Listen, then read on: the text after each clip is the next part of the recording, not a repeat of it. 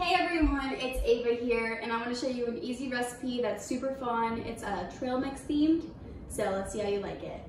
So first, we have M&Ms. You're going to take one cup of M&Ms and pour it in a bowl. Next, we're going to take Cheerios.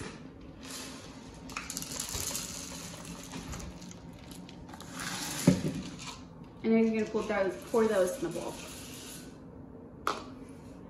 Is animal crackers.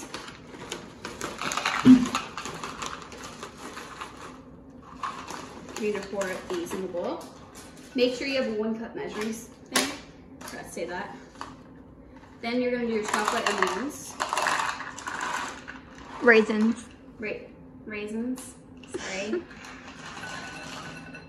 then you're gonna take your pretzels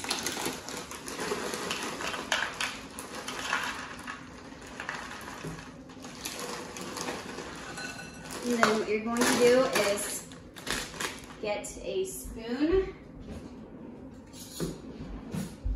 and mix it around in here. And this is a very fun, very unhealthy, easy trail mix recipe you can make from home.